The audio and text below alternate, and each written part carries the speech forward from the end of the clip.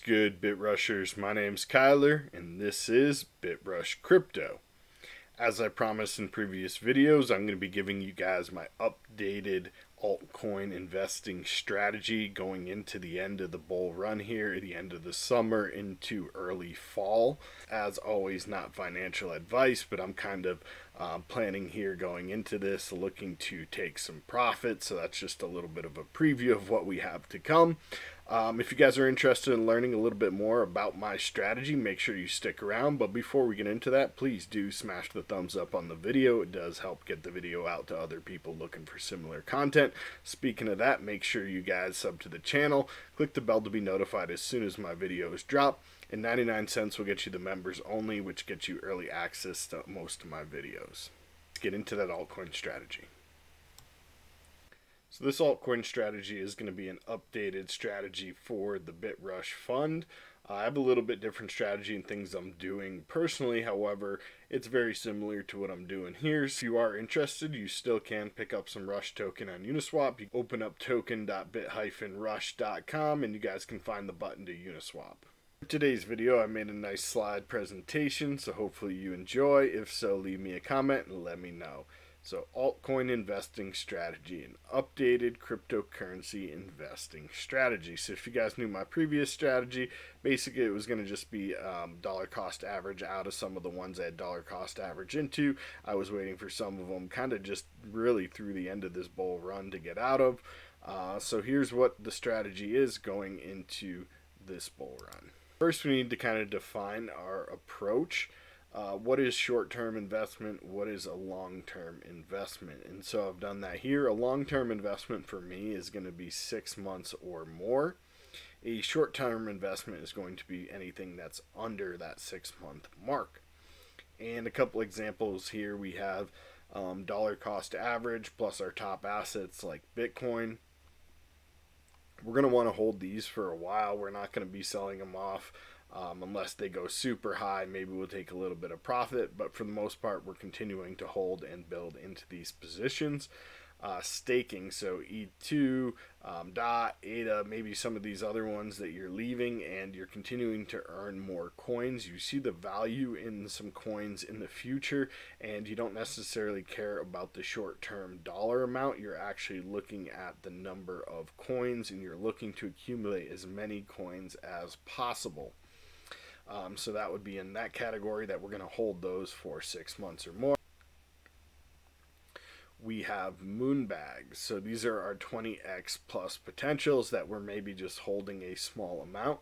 We'll get into this later, but as we take profit, I generally tend to keep a moon bag, which is maybe just like a hundred or a thousand of the tokens, depending on how many I've bought initially, and just leave them in my wallet and kind of forget about them and hope they 10, 20, 30x, 100x, whatever. And we're not really looking to sell them. Again, these are just long term. We're keeping them in there in case they just go um, bananas. So coming into the short-term strategy, we have leverage trades. These are obviously, for the most part, either um, just quick scalp trades or swing trades that are definitely going to be under six months. We have altcoins. These are buying any kind of altcoins, and obviously, I'm not talking about the top ones here that we're staking. I'm talking about other altcoins, um, lower to mid cap altcoins, and then we get into the micro caps, which are the super tiny um, capital coins that uh, we sometimes invest in. So those ones again are kind of going to fit under this altcoin strategy. But really, they're going to be separate. They have their own investing strategy. And the one we're going to be talking about today is our altcoins. So these are the ones that maybe aren't in our top uh, five coins, you know, not necessarily the top five that we're keeping, but a bunch of other um, top cap coins, mid cap coins, maybe even some low cap altcoins here, but don't necessarily fit the micro cap um, definition and that trading style. So here it is. One, we have a new goal. It is our new goal is to accumulate as much USD value as possible in stable coins. Okay, so we're going to be looking to build into stables. Um, how we're going to do that here? So accumulate stables until a definitive top in the market, which is estimated between September and you know basically the new year 2022 Sometime within that time, we're going to look to take profits into USDT, USDC, and BUSD. So, if you guys don't know, I've already been taking a lot of profit. However, what I'm doing generally is when I take profits on one coin, I invest them into another coin. So, when we have a huge market crash like this and I haven't taken profit into USD, you know, you get held up a little bit. Um, and now you you've lost a lot of value. So just transitioning there from um, taking profits into say Ethereum or into whatever pair I'm trading on, uh, instead taking those profits actually into a stable. So that's a big change right there. Covering initial investments early. So here's another thing is when, you know, I, a lot of times I'll put in, let's say like $500 and the coin will 3, 4x and instead of just taking out that initial 500 and putting it back into USD, I'll just let it ride because why not? We're letting it all go up, right? So from now on, I'm going to not do that anymore. I'm going to um, now take out my initial investment as soon as possible. Um, as soon as we 2 or 3x on these, a lot of them um, you know, at that point, if that happens, we're definitely taking out the initial investment and probably taking profits at key levels. So, you know, if they get that high, we're going to be taking profits. We'll get into this a little bit more. I've kind of set some key levels, but um, taking profits at key levels regardless of the market. So, even if I think, uh, you know, coin's going to like 3, 4x from here, taking profits when I'm, you know, up at a certain percentage. You have, so really guys, this just goes into not letting greed take hold. Even if we think that a coin might go up another 2, 3x from here, seeing that we're already at a certain level of profit, maybe we've already doubled our money, taking a certain amount of profit on that and being happy with that profit as a positive gain, a positive ROI investment. Again, guys, just not um, letting emotion take over and just looking at the numbers and saying this is a good point for me to cash out some of my investment. And then the final thing is uh, only invest in solid projects to minimize potential loss. So while we had this most recent correction, a lot of the top key projects didn't see as bad of a correction as some of the other altcoins that maybe don't have a working project or still in the developmental stage are kind of lower cap coins that don't have um, the liquidity and the trading pairs on the big uh, dexes and exchanges those coins tend to be the ones that lose the most money. So if you're keeping that in mind with your altcoin investing, and we're doing a separate strategy for the micro caps, so we're only investing in solid projects here. Um, that will minimize the potential loss that we're going to see with our investments moving forward. Speaking of that, the next major update that I'm making here with the fund and how I'm managing the altcoins is I'm only going to hold five coins or less. The reason I'm doing this is to better monitor prices and the charts. Um, you know, it's a lot easier for me to go in and check five coins daily or every other day than it is to check on 10, 20, 30 of them and keep up to date and have a strategy on those that I can manage effectively. And speaking of not just the prices, also monitoring, uh, you know, the news and timelines and what, you know, things are being developed and released and so just having a small basket of coins, five or less, I think is going to be key to just staying up with prices, charts, news, all of that, guys.